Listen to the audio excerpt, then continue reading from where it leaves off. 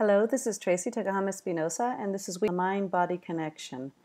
Today we're going to be considering the mind body connection in global terms and then comparing this with these other ideas of well being and quality of life and what does it mean to have your body in good shape versus your mind or, or both. And we want to do this within the context of the great range of human variability. There is nobody who wants to try to dictate and say this is the right diet for you, or this is the right exercise, or this is the right amount of sleep, because we know that, that there's huge human variation and that's very normal. So instead of prescribing things, we want to look at the risk and protective factors that you as an individual might need to take into consideration when you're trying to find this balance in the mind body connection. So, the three topics we'll look at today have to do with uh, sleep, physical activity, and nutrition. One of the big ideas that we hope that you'll take away from this class is that your mental processes affect your physical states and that your physical body is influenced by how you feel and how you think. We can't just look at the concept of the neuroscience of learning as a purely cognitive concept.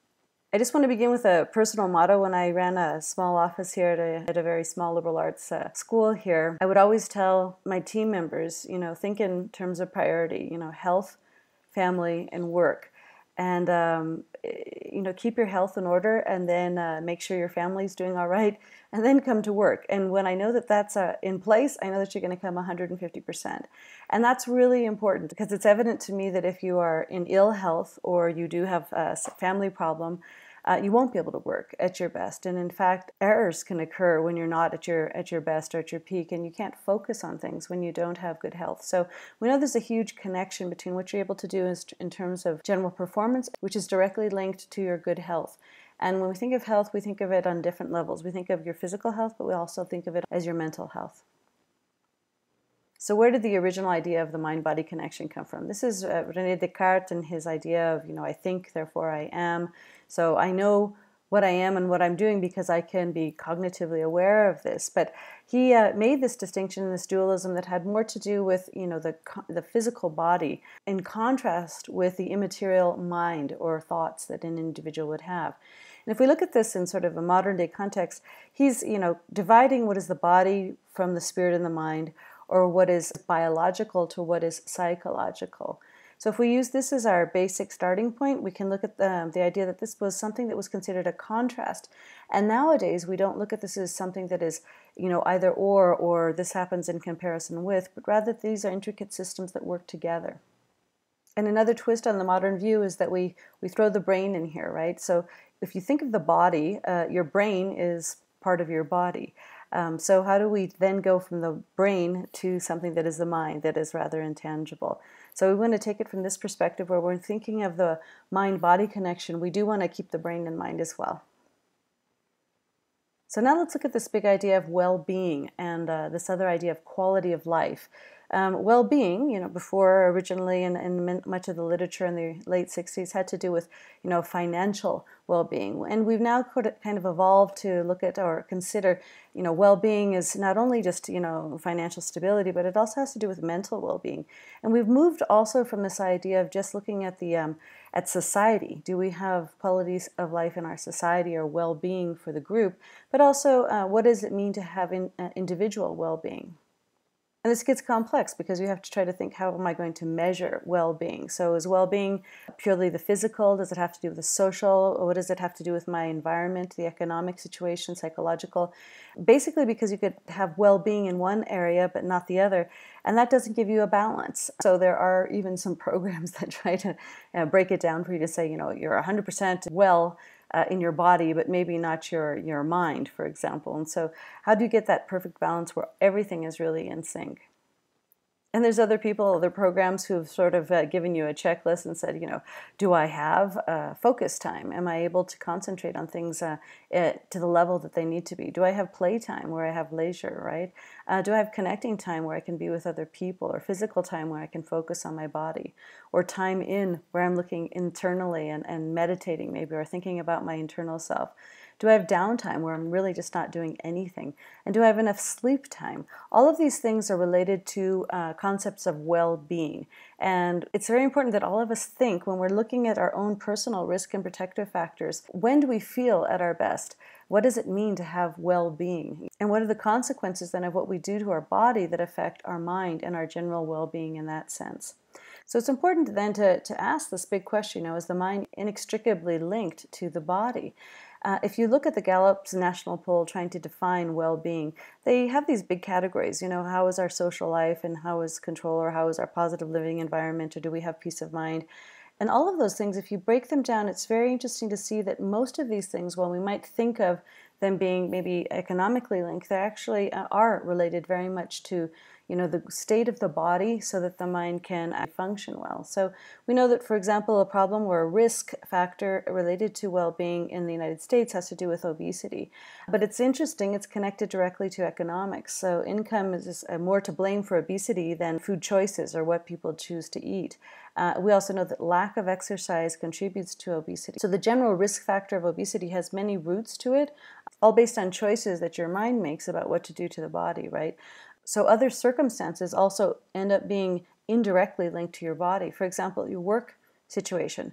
People who are disengaged in work are more likely to smoke, for example.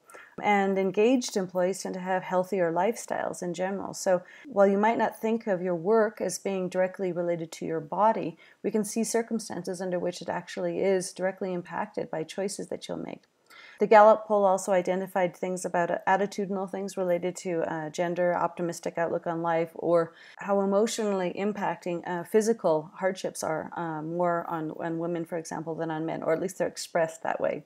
We also know related to economics, of course, you know, having, you know, not having employment leads to depression. and Depression leads to deterioration of the body's ability to fight off disease, for example. And other external events, uh, things that can happen to you, uh, earthquakes, um, tornadoes, natural disasters that, that you have no control over can also take its toll on your body for various reasons and consequently affect your mind's ability to function at its optimal state. So if we ask this question, is the mind inextricably linked to the body, then we have to also ask, is well-being then linked to the mind-body connection? And if we think of well-being as being this global concept that involves things like your ability to learn or work or have good housing situations or your stable family life.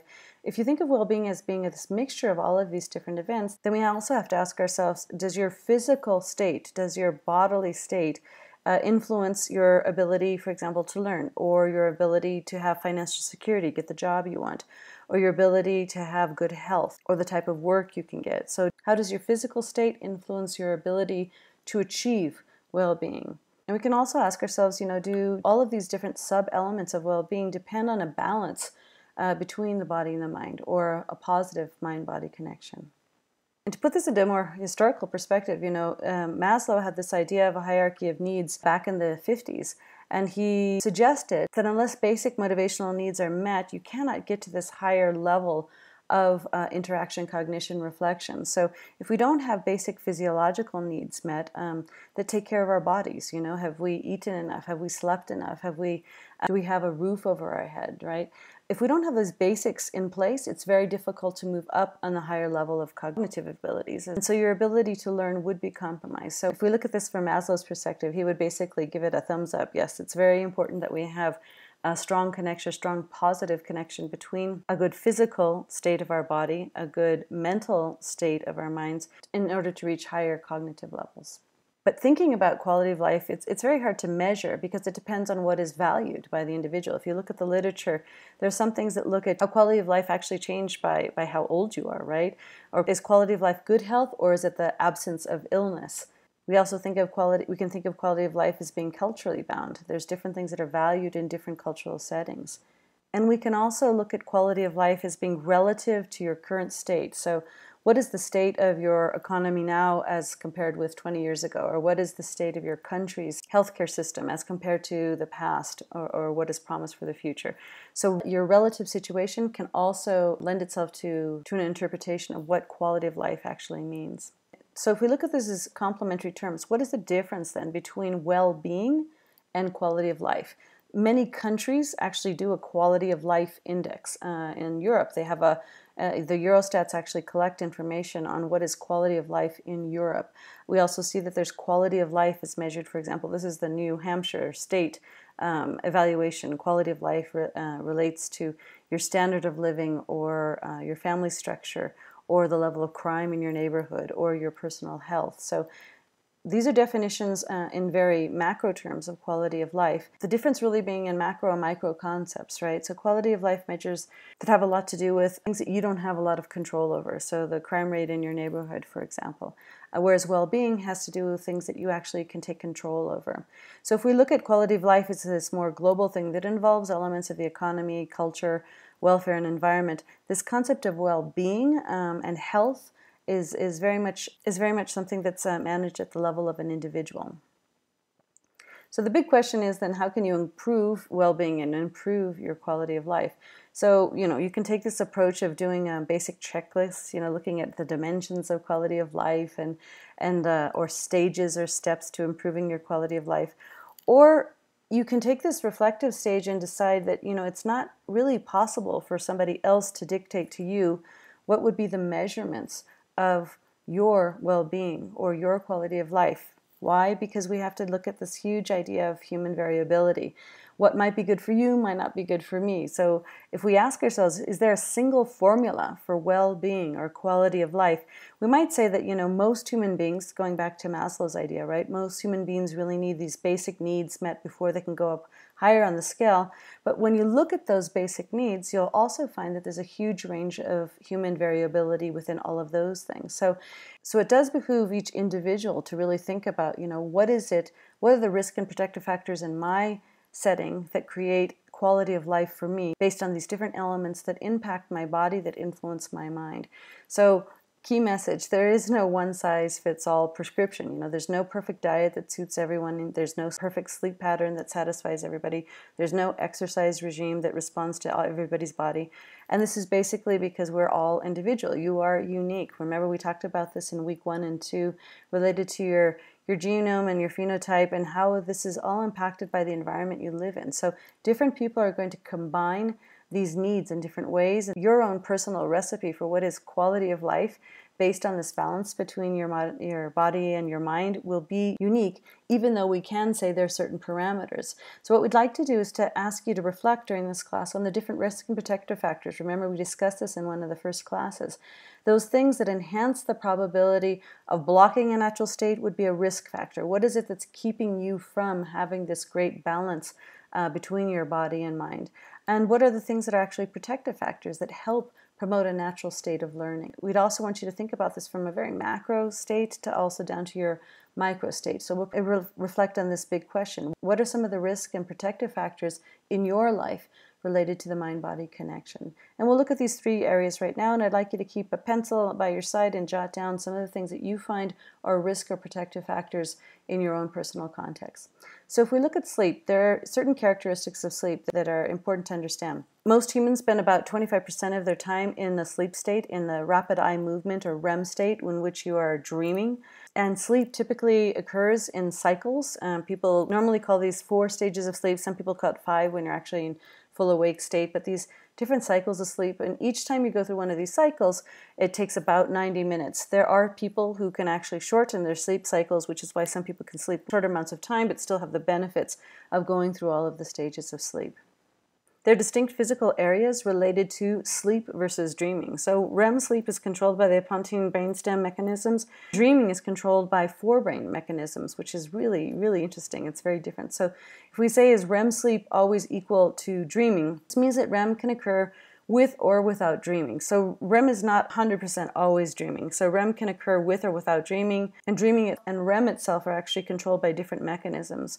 REM is controlled by, by brainstem mechanisms, and dreams seem to be controlled by dopaminergic forebrain mechanisms.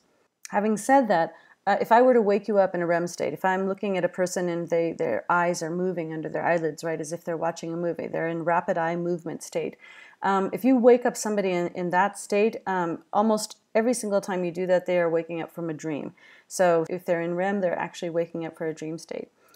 However, dreaming is also present uh, in, in a small percentage of non REM awakenings as well.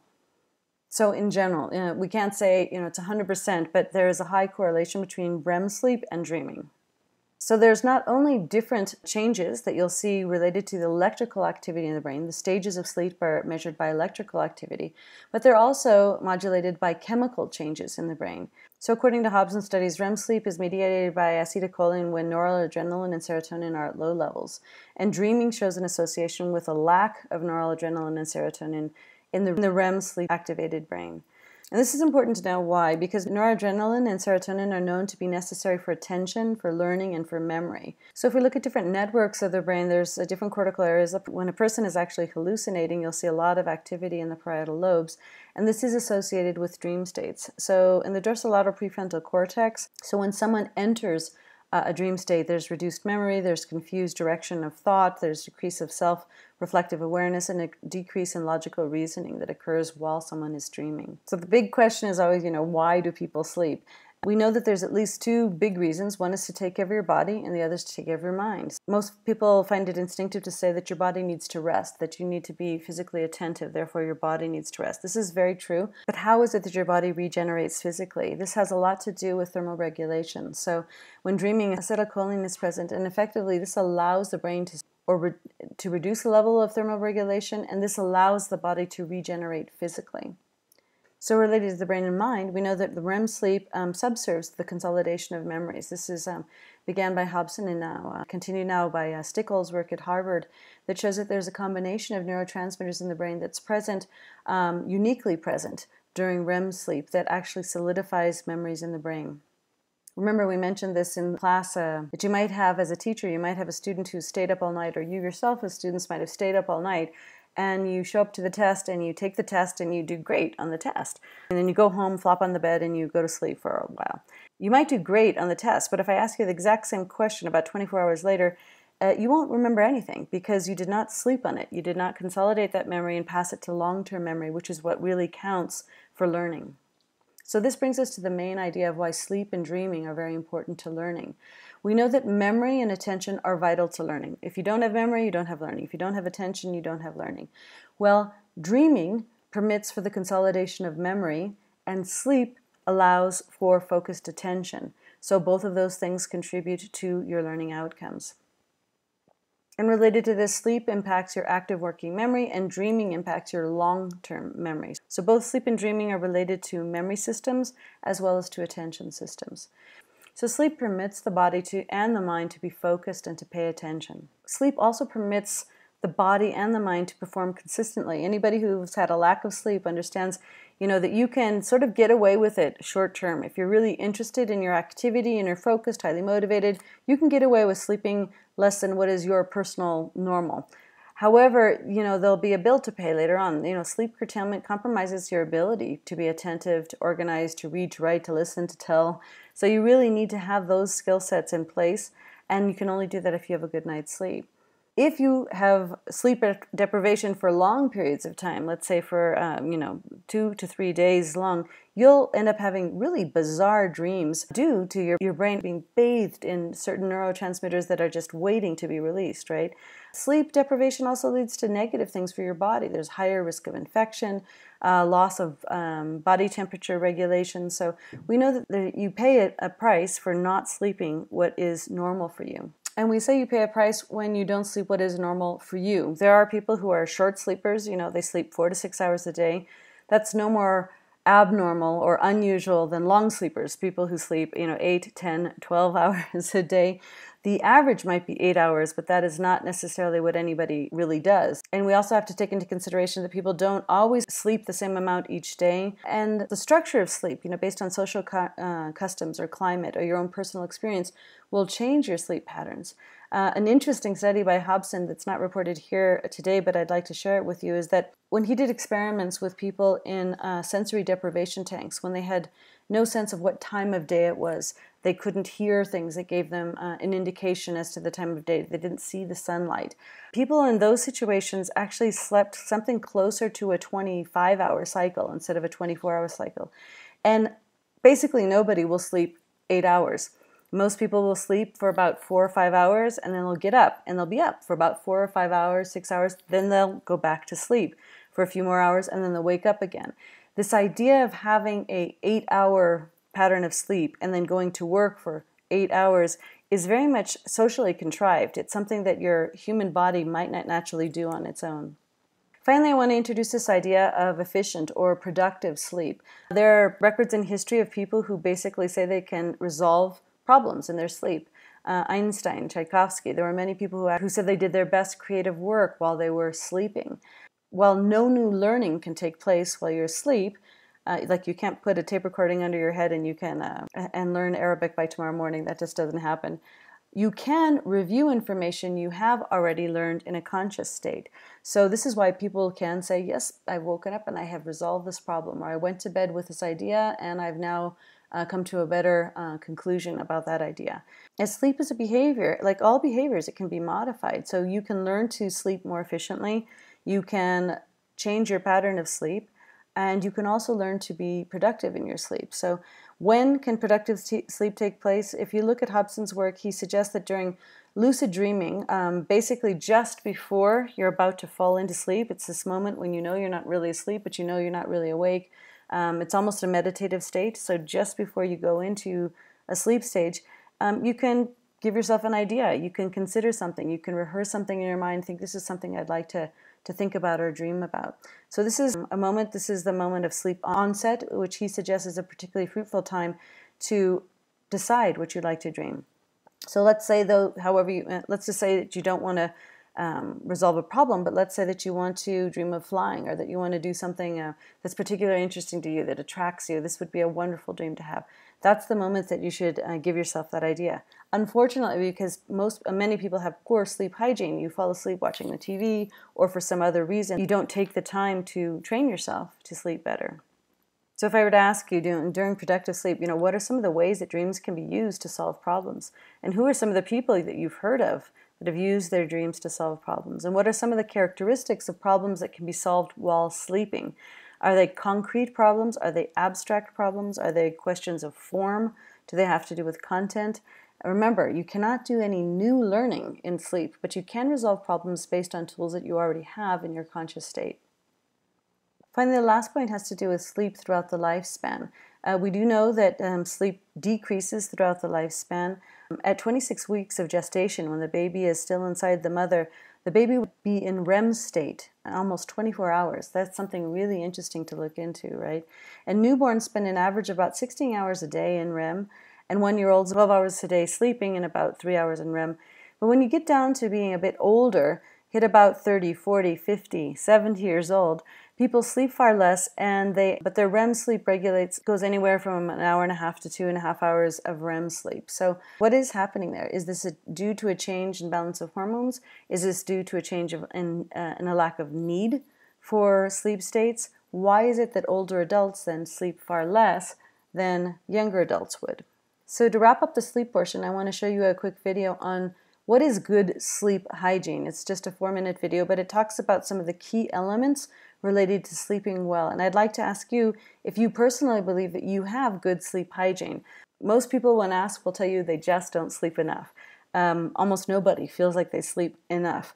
So, is there some way that you can retrain yourself to sleep better, or are there things that are preventing you uh, in your environment from sleeping well? So, let's look at this video and then we'll have a think about that right afterwards.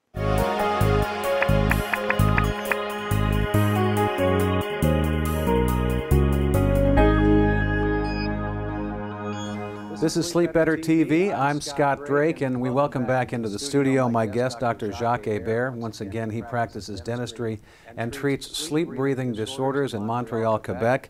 Uh, this time we're talking about sleep hygiene. Uh, Dr. Bear, welcome back. What exactly is sleep hygiene? Sleep is a part of our life that we seem to get less and less as we go along with our busy life and very uh, busy schedule. Um, there's, there's no reason why we shouldn't be able to get a good night's sleep. And you don't have to be uh, a snorer or a, uh, have a diagnosis of sleep apnea uh, to make changes and then to be able to get a good night's sleep. Even people who don't suffer from this condition can benefit from making simple changes around bedtime to get a good night's sleep. A series of simple recommendations and changes to get a better, good, a better night's sleep um, are basically what we call sleep hygiene. Uh, can you give us some good recommendations for proper sleep hygiene? Some of those recommendations are as follow. First one should be to get a regular schedule, meaning that try, you're trying to go to bed at the same time every night and also wake up at the same time every morning. This just settles everything around and so you're more relaxed when it comes time to go to bed and wake up in the morning. Uh, second one, um, the bedroom should be used only for sleep and intimacy. Uh, don't bring your computer to bed, it, won't, it will stop you from going to sleep. Um, third one, if you lay awake in bed trying to fall asleep, limit that to 20 minutes. After 20 minutes, if you're not asleep, get out of the room, go do something, and just come back to the bedroom only when you feel sleepy and ready to go to bed. Uh, another one, the bedroom should be uh, dark, should be peaceful, no, no loud noise, and should be set at very cool temperature. Also, uh, you have to avoid drinking um, alcohol beverages at least three to five hours prior to going to bed. Also, ca caffeine. Limit your consumption of caffeine or caffeine to two, one to two cups a day, and then no later than six hours before going to bed. And then we all know that exercise is very good for you. You should exercise daily, but you have to avoid strenuous exercise routine at least three hours uh, or three and a half hours before going to bed. Finally, what are some signs of poor sleep hygiene? The main indicators of what we would call poor sleep hygiene are excessive daytime sleepiness or fatigue, or just simply having problems finish our day and then just going back to the, the at home at night and then feeling like we're exhausted. It could also be um, problems falling asleep or even staying asleep. Or uh, most of the time, also people will mention that they suffer from frequent awakening. They wake up often during the night and they go back to sleep and they awake again. And uh, basically, everything that will disturb your sleep and make you um, fatigued during the day. Those are the, the signs that we usually look at to start with. My guest has been Dr. Jacques Hebert, who practices dentistry and sleep breathing disorder therapy in Montreal, Quebec. Dr. Hebert, thank you again. Well, thank you for inviting me. You're watching Sleep Better TV. You can see more at sleepbetter.tv. Thanks for watching. And that's a good transition then into the next topic that has to do with physical activity. So, what is physical activity? If I were to ask you, can you name all the things that you might do in a day that are physical activity? And so, it pretty much ranges from absolutely everything from, you know, calm, you know, sitting, uh, meditative activities, uh, doing uh, martial arts, to doing anything super active uh, and intensive uh, extreme sports. So, all of that can be considered physical activity.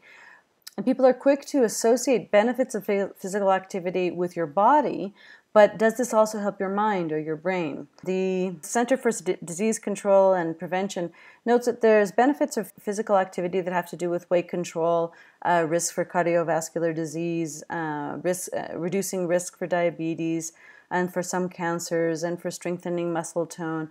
All of those things are physically related, but are there things that are related to physical activity and improvement related to the mind connection as well as to the body?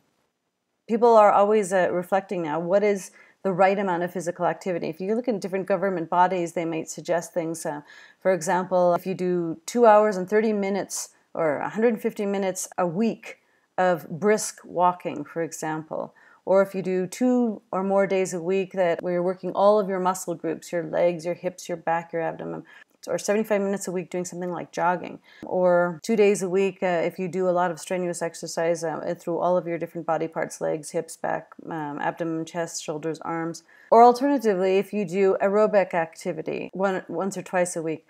These are general guidelines and recommendations, and obviously, different people will need different things, and different people will enjoy things um, some people just love doing physical exercise and they can do, you know, every single day of the week, do something and feel really good about it. And other people really find that they push themselves. So there's other alternatives. There's these um, exercise pyramids or these physical exercise pyramids that says, well, you can either do this or you can do that, or you can do this or you can do that. So, you know, if on a daily basis you're, you know, you're walking and taking care of your garden, that's okay. That's pretty much as, you know, just as well as if you, you know, twice a week did you know, some heavy aerobic exercise. So the idea is that this should be part of your weekly routine. Are you fitting in physical exercise in order to reap the benefits uh, to, for your body, but also for your mind? So we know related to the neurochemistry of um, exercise that there's an uh, increase in norepinephrine, serotonin, acetylcholine, and GABA. These different neurotransmitters, as you can, as you recall, and you can also look back at the section on neurotransmitters, are very beneficial and are directly related to aspects of learning. So, how does the physical activity improve cognitive functioning? One of the key ways, aside from these other neurotransmitters just mentioned, has to do with brain derived neurotrophic factor, or BDNF, which is related to nerve growth, neurogenesis, and is very key in long term memory.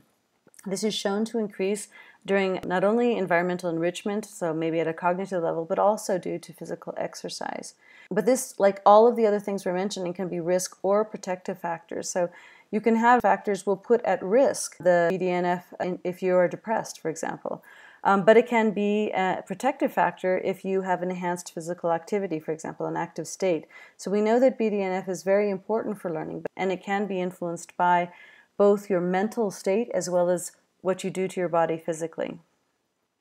So there's multiple studies that show that um, BDNF is, is shown to increase with, with physical exercise. So this is well documented in the literature. In the earlier studies, you'll find that a lot of this has a lot to do with um, other non-human creatures, but now we have a lot of evidence, especially through sports medicine analysis, of how this actually is improved in human beings.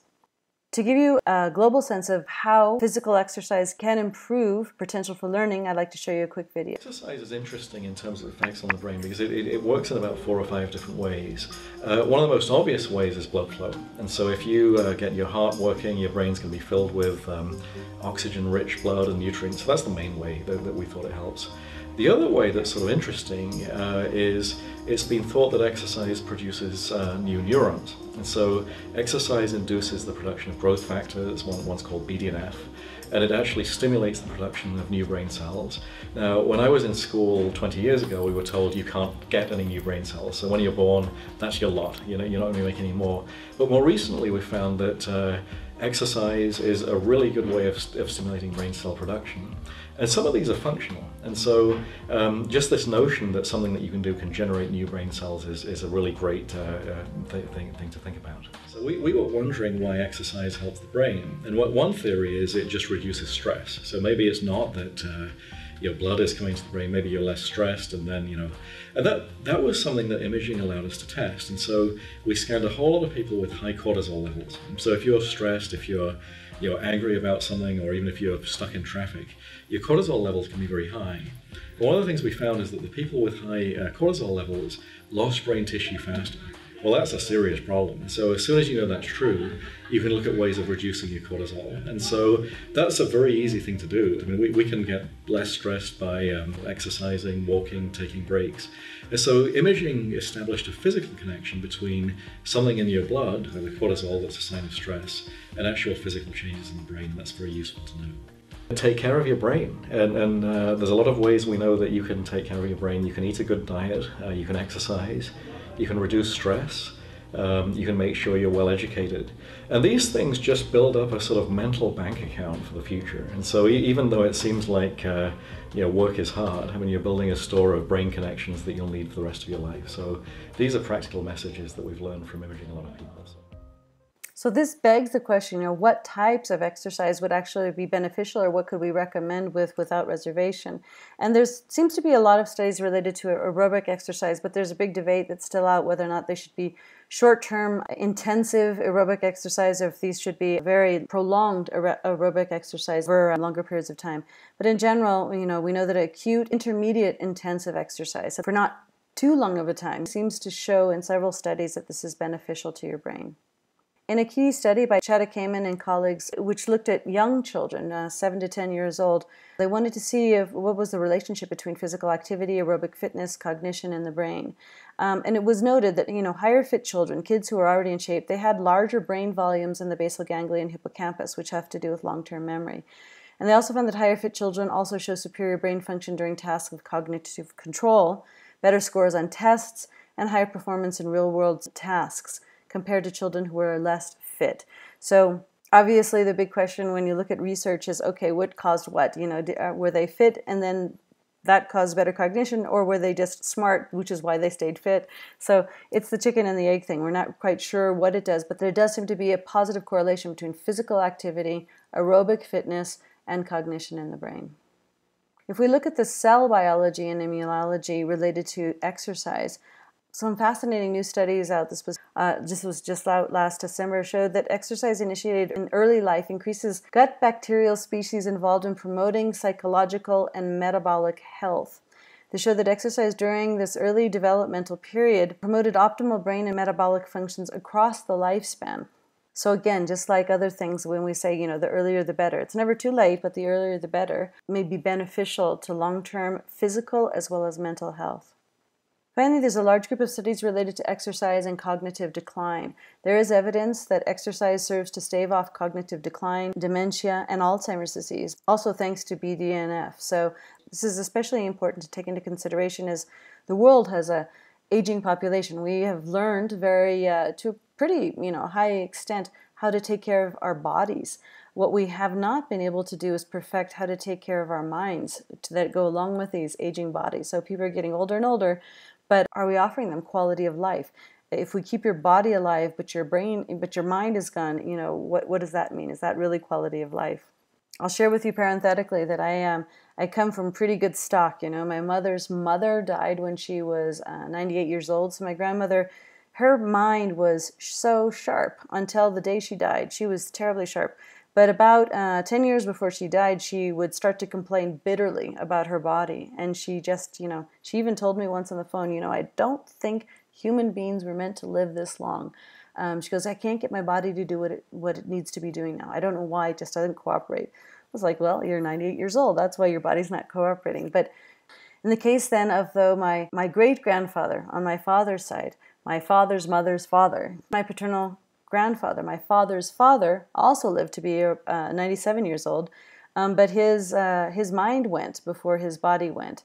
And um, it, it was really hard on all of us. So it's very hard to know how can we find this compatibility level where you've got your mind and your body in sync. About 10 years before he went, we would go and visit, and he would look at us and he would say things like, um, I don't remember your name, but I know I like you. and so, you know, he's losing it. And he was, you know, this handsome guy, very charming fellow, but he lost it mentally before he lost it physically. And, and so in the case of my mother's mother, she lost it, you know, physically before she lost it mentally. So, you know, nobody knows exactly what the best way is to go, but ideally, you know, you could have in sync this, you know, optimal body functioning as well as your optimal brain functioning for as long as possible. So this big questions of looking at physical exercise in aging populations is a very big uh, area of research right now that is uh, is very promising, very interesting, and, and well worth looking into. A study done by Erickson and colleagues noted that uh, physical activity is a promising intervention that can influence endogenous pharmacology of the brain to enhance cognitive and emotional function in late adulthood. So, whereas we say the general rule is start as early as possible to, to get in these habituated actions of taking care of your body, you can even start late and after four or five years of intervention, they found that there was definite benefits. Okay, now we're going to turn to the last topic that has to do with nutrition. Uh, and the big question is always, you know, what's the diet for the brain? What should we actually eat for your brain? And you get a lot of people who are really willing to tell you all this great advice and say, oh, this, do this, do that, do the other thing. The problem is they're not really all saying the same thing. They're all saying kind of different things. So this leaves us, you know, wondering what is really the, the perfect diet for your brain.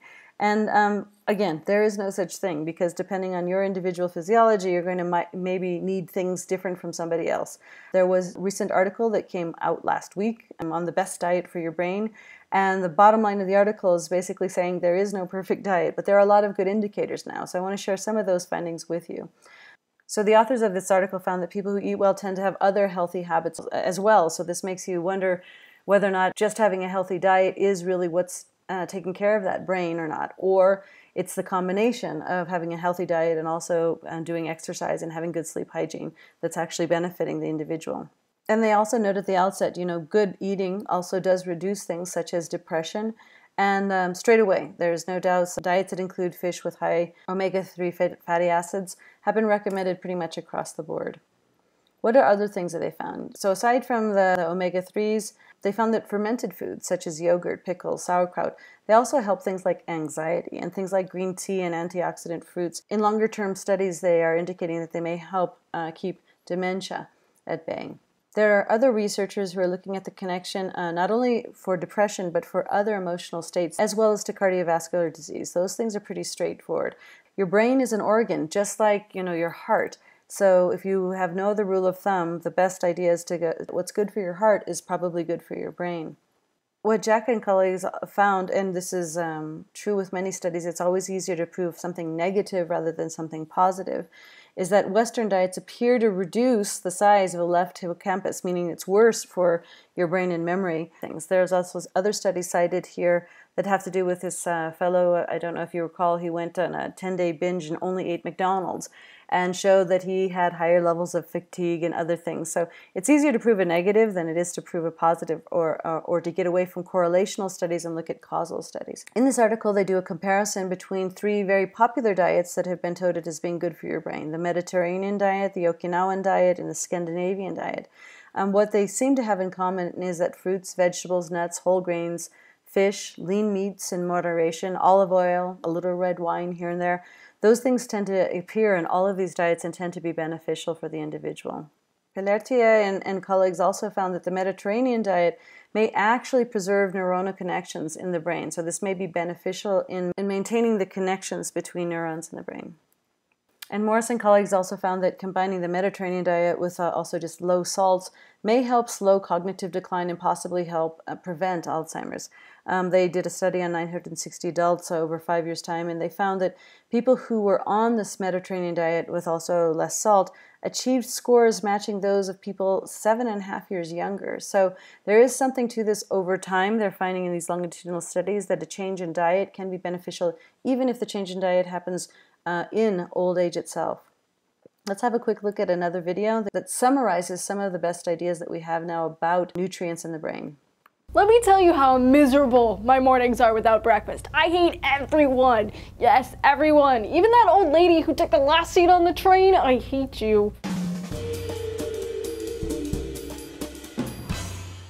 Hey guys, Julie here for D News. Do we need breakfast? I mean, your mom always tells you you need to eat it, but do you really need to? A recent study published in the Journal of Public Economics says yes. The researchers found that schools that provided free breakfast for their students had better test scores than those that didn't. The kids performed 25% better in math and had similar gains in other areas like reading. But this news isn't entirely new. Breakfast is often heralded as the most important meal of the day, and science backs this up. There are loads of studies that show just how important it is for learning and memory, but it might not have the weight loss benefits you think. Anyways, is it breakfast that helps give your brain a boost, or is it the type of food you eat? I mean, the brain consumes a lot of energy. Almost 20% of the energy we consume goes to the brain. Some researchers say that the brain functions best when there's 25 grams of glucose circulating through the bloodstream. So really, you should keep that as level as possible. Any spike or dip can leave you feeling off. So maybe eating more frequent, smaller meals throughout the day can help you avoid a post-lunch crash. But is there a way to hack your brain with food? Is there such a thing as brain food? I mean, I was always told to eat a banana before a test. Curcumin and omega-3 seem to be buzzing around the blogosphere of late, and that may have some truth to it.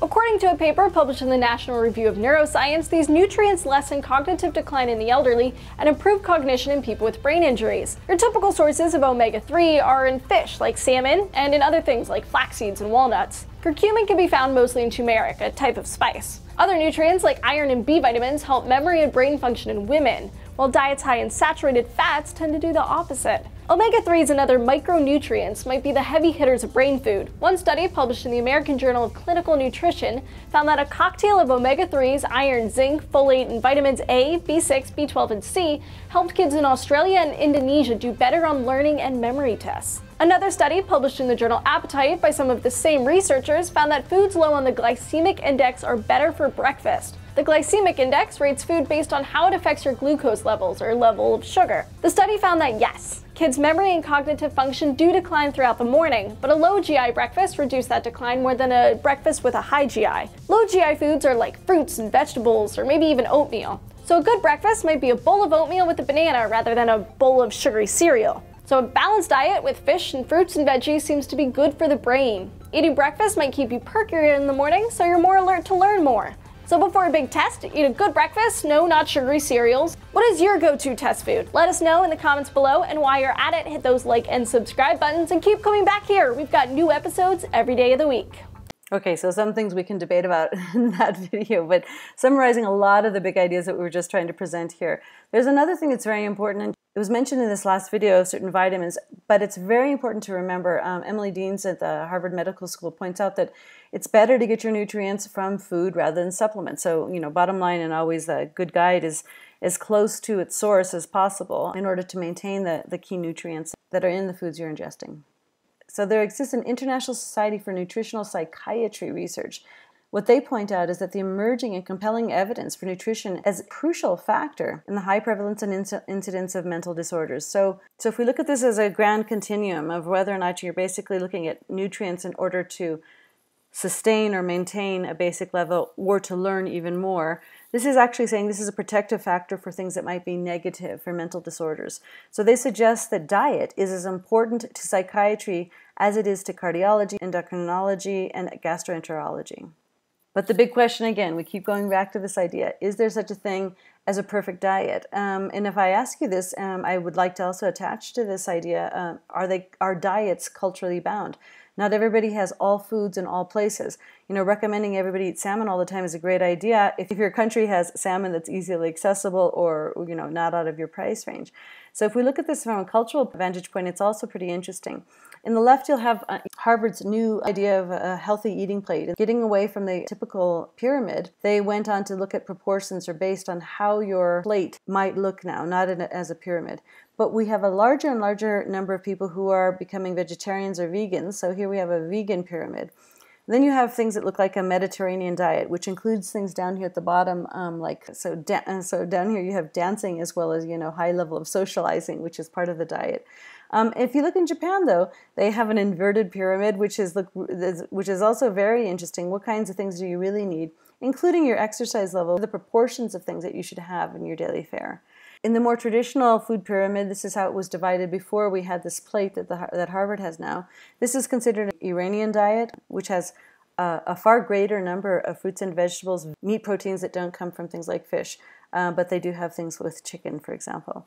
And then a, a, typical Asian diet pyramid. So instead of putting all these breads and grains, they'll have more things that are more like rice and noodles. So, anyways, on the whole, you can say that the general nutrients that you might find are going to be relatively similar because humans need more or less the same kinds of things. But it's really important to consider, you know, that there's uh, there's no real perfect diet because they will have uh, lots of cultural considerations and also your access to certain foods. So remember, I told you uh, when we began this that there were many people who were willing to give a lot of advice about what the best diet would be for your brain, but you really do have to consider um, also cultural restraints in those recommendations. So we end by looking at this idea again, remembering, reminding ourselves that you know there's huge uh, human variability, and so there's nothing that's going to be 100% for all people all the time in all places. So now let's look at yourself. What are your risk and protective factors? And do limit it for the, the for the sake of this reflection to these three areas of sleep, physical activity, nutrition. Obviously, there's other things that have to do with your mind body balance including things like you know sex and shelter and all these other things we haven't talked about. But let's limit it, limit your reflection to these three areas of sleep physical activity nutrition. What are the risk factors in your life right now? Is, is your sleep hygiene at risk? Is your physical activity at risk? For what reasons? Nutrition wise what uh, what is the risk factor that's involved there? Or do you have protective factors that are balancing things out and that are giving you that leg up? So have you mindfully incorporated protective factors into your practice so that you can take care of your body, so your body can take care of your mind, so that your mind can take care of your body, you know, in this infinite circle. What is the balance of your risk and protective factors related to the mind body connection? So I want to invite you, know, take a moment, think about those risk factors, think about the protective factors, and how you might be able to move yourself towards a better balance of elements related to sleep, physical activity, and nutrition in your life.